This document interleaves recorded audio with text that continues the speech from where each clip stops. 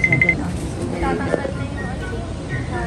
Ayan. Sige, naakit na kayo. Naka, ano na siya? Naka-okay na siya? Summer. Summer. Summer. Summer.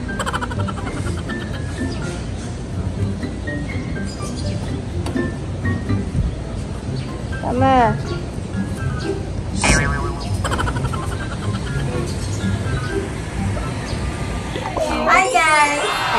Ayan, meron tayong pa-unboxing. Iba't ibang klaseng unboxing. At pasensya na muna sa aming background. Nag-aayos kami ng Christmas decor. Walang ibang mapupwestuhan kaya dyan na muna sila. Tapos, ito yung mga i-unbox natin. Yan. Yan. Magulong, magulong, magulo. Magulo ang kabahayan. At sobrang init. Umpisa na tayo.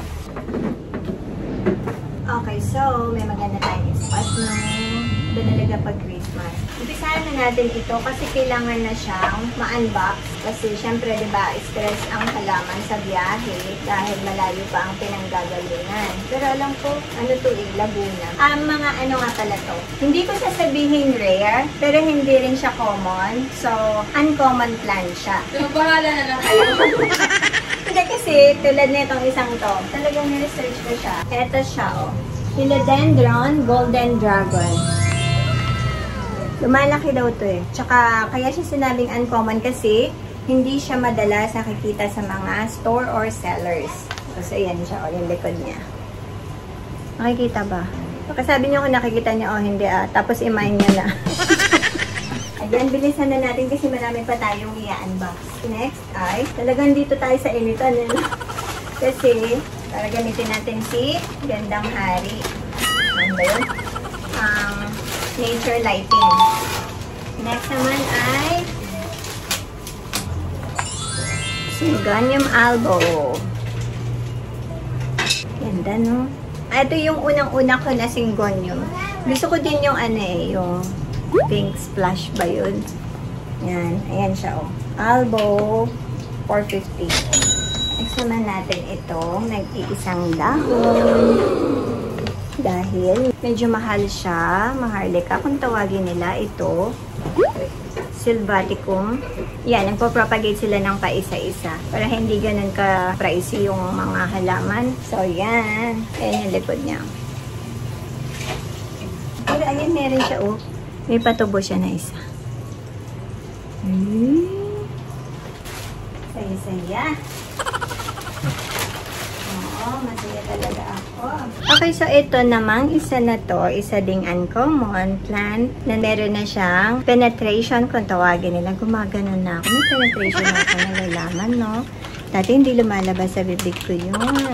So yun, meron na siyang penetration. Ang ganda-ganda niyang... Ikita ba? Yan, no? Ah, may mga butas-butas na siya. Para siyang monstera. Lumalaki itong mga to. Lumalaki yung mga dahon niya. Maliliit pa nga lang siya. Ayan o. Meron na siya. Madami siyang mga patubo. Amidrium. So, update-update ko kayo kung nabuhay sila, kung gaano sila lumaki, kung ano yung naging itsura nila, paglaki nila. Diba? Yan. Next. Ito pala si Albo, oh. Meron na siyang ugat malabas na yung mga ugat niya. oh. Ibig sabihin, ready na siya na iripat. Tsaka, nagte-trail to eh. Ilalagay sa pole. Okay, next tayo. Lazada. Baka naman. Lazada baka. Eto, maganda din to. Isa to sa mga pangarap ko. Kali. Makapila ng talo.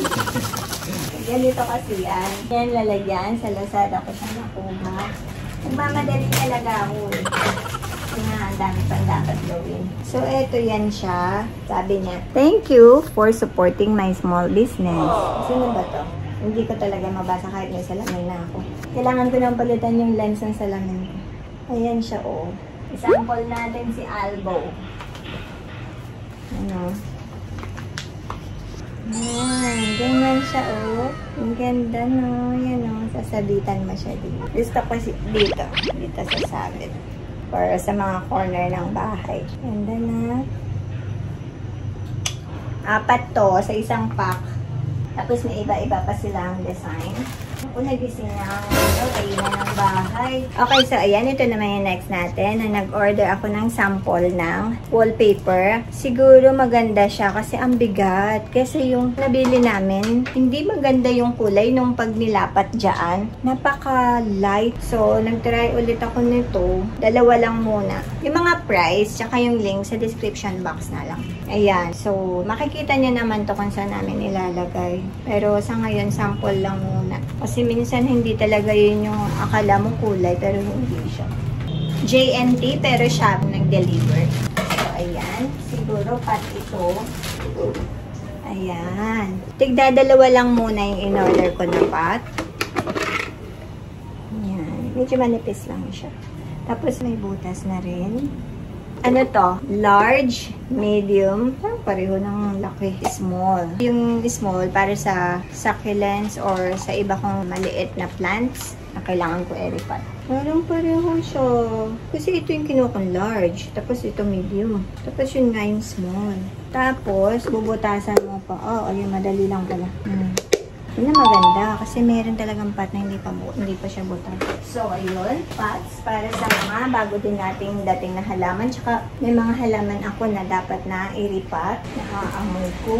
In-order ko to kay Urban Gardening. Ayan, ito yung in-order ko sa Urban Gardening. Umorder ako ng vermicast. Ito, aroid soil mix, 5 kilos. Aroid mix, 5 liters. Soilless potting mix. Ito namang isa ay pang cactus and succulents naman to na soilless potting mix. Ayan. So, yung mga yan, dahil sa mga may dumating tayo na mga bagong plants, ito din yan, mga yan. So, ita-transfer na natin itong mga ito para maglakihan na sila. Yan. Yan, yung mga in-order para malagyan natin sila ng mga tamang soil mix. Ito sobrang sa halos mga philodendron, ito yung gamit na soil. Ito, aroid mix soil. Sobrang ano effective siya sa mga philodendron. Yan. So, dahil meron tayong pasucculent soil, meron akong heartstring kasi na mabagal siya lumaki. Baka kailangan niyang iripat, at saka yung ilipat ko siya sa, sa tamang soil niya. Baka kaya doon medyo lumaki-laki na siya. kasi mula nung siguro ilang buwan, siguro may isa, dalawang buwan ko siya nang mula na bili ko siya. Ganun pa rin siya, hindi pa siya lumalaki. Pero at least hindi siya namamatay, di ba? So, yun. Ito pa guys, ayan. Nag-iba yata ng lalagyan si Shopee. Ano to eh, yung panghukay ng mga soil. Lalo na gamitin to sa succulents. Ano, diba? Tatawa ako. Bibili ako ng nalagyan para maayos sa balcony kasi parami na ng parami yung mga gamit ko na pang plants. Gagalit ako sa kalat. Pero ako makalat. So, yan. Tsaka ito. Ang cute na. Ay, ganyan ka. Parang aano-ano kang ganyan. Tapos kakain. Joke. Ayan na, bubungkalin mong gano'n. Bubukayin mong gano'n yung lupa. Kaya may titignan ka o magtatanim ka. Ayan, gaganyan. Tapos, may nagkadoble ako na order ng soil. Pero, hindi siya matatapon. Hindi siya masasayang. Vermicast. Hindi siya masasayang kasi, di ba, fertilizer din to. So, magagamit natin siya. Magkaibang seller. Sa Shopee at saka sa Lazada ako nag-order. So, ito galing sa Shopee. Na-order ko siya. Ayan, vermicast 1 kilo. Dalawa. So, 2 kilos to. Ayan. Tapos, ayan yung mga napamili natin. Nandoon sa plastic. Yung iba. Kasi si Summer, hinihila niya eh. So, ayan. Soil, pang pot din. Yan, wallpaper, pots. Ang pinaka gusto ko dito ay itong mga halaman na mga uncommon plants. Tapos, ito isi-separate ko na lang medyo kasi masyadong madetalo to para i-unbox ko. So, yan ang next unboxing natin. So, ayan lang guys. Mamaya ulit.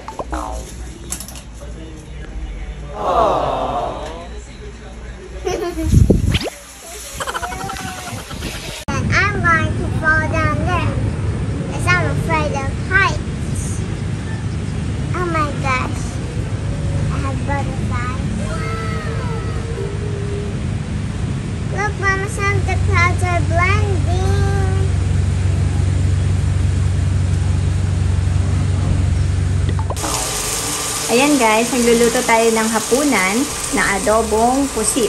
Isang kilong adobo, ay isang kilong, isang kilong pusit, isang malaki na onion, dalawang kamatis, tsaka kalahating bawang. Ayan ang ating hapunan ngayon, adobong pusit. Ayan, kinisa ko na siya. Hindi ko pinapa-brown yung, yung bawang kasi dati nagpapa-brown ako pero nung nalaman ko na ah, nakakabawas pala yun sa nutrients or sa na makukuha natin sa ano na vitamina sa bawang. Hindi na ako masyado nagpapa-brown. Ayan, ganyan na lang. Ayan, nagliitan na. Madali lang ito lutuin. Gusto ko yung mga seafood. Yun yung lulutuin. Sustansya na tapos madali pa luto. Hindi ko siya nilagyan ng sabaw pero sobrang dami ng tubig ng ano, ng pusit. Ayan, ang sarap na adobong pusit. Napakadaling lutuin.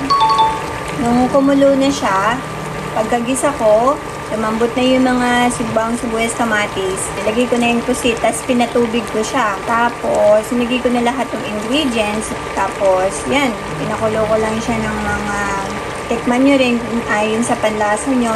Kasi ako din nagdagan ko pa ng konting asin, tsaka konting asukal. Kasi yan na, nilagay ko na yung siling haba. Nilagyan ko din ng laurel. Yan na, kain tayo.